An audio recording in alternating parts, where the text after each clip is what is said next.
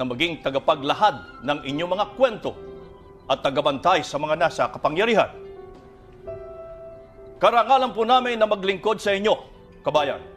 Hindi man na-renew ang aming prangkisa at pinatitigil ang ating broadcast, nangangako kami sa inyo, hindi kami mananahimik sa pag-ataking ito sa ating demokrasya at sa malayang pamamahayag.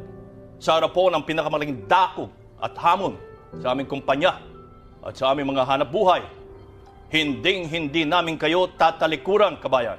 Mga kapamilya kami, tayo ang ABS-CBN. In the service of the Filipino, saan man sila naroroon, sa buhay. Mga kapamilya, magandang gabi po sa inyong lahat. Ako po ay humaharap sa inyo para sa ating ABS-CBN family. Ang ating pong news team ay araw-araw, oras-oras, nalalalagay sa peligro ang buhay para lang mahatid sa atin ang mahalagang impormasyon at balita para sa kaligtasan nating lahat. Marami po sa inyong mga kapamilya ay pumasok sa opisina para hindi matigil ang broadcast at serbisyo ng ABS-CBN.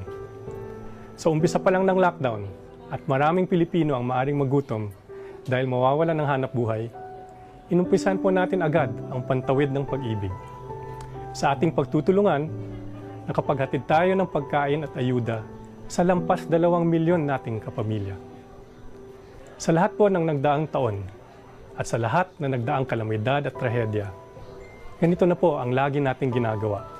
Ang ating ABS-CBN ay nangunguna sa paglikom ng mga donasyon para makatulong sa pag-ahon ng mga biktima. Bukod sa serbisyo publiko, ang ating ABS-CBN ay nakapagbigay din po ng pag-asa at inspirasyon sa pamamagitan ng mga palabas tulad halimbawa ng inyong paboritong ang probinsyano ang makapaglingkod sa inyo ang aming misyon at ang aming kaligayahan. Ngayon po ay dumating ang araw na kami naman ang dumudulog at nananawagan sa inyo. Hindi po binigay ng National Telecommunications Commission ang lisensya para sa patuloy na paglilingkod ng ABS-CBN. Kaya mawawala na po sa ere ang ating ABS-CBN.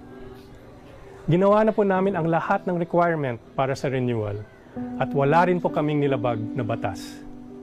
Pati po ang Kongreso na ayon sa batas ay may kapangyarihan na mag-utos sa NTC na magbigay ng provisional authority sa TV at radio stations ay nagsabi po na bigyan na muna ang ABS-CBN ng provisional authority. Marahil naintindihan ng ating mga mambabatas na mahalaga ang ating serbisyo lalong-lalo na sa panahong ito.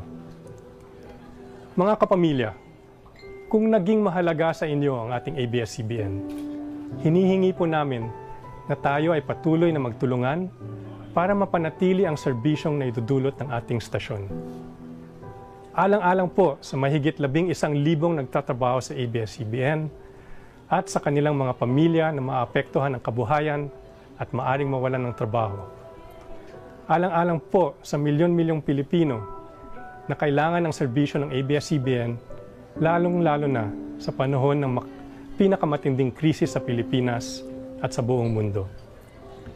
Lalo na ngayon sa pinakamalalang panahon ng sakit at gutom. Ipadama, isaad at ipadinig po natin ang ating nararamdaman sa pagsasara ng ating ABS-CBN. Sa oras na ito, kami naman po ang humihingi ng inyong pagdamay. Maraming salamat po mga kapamilya.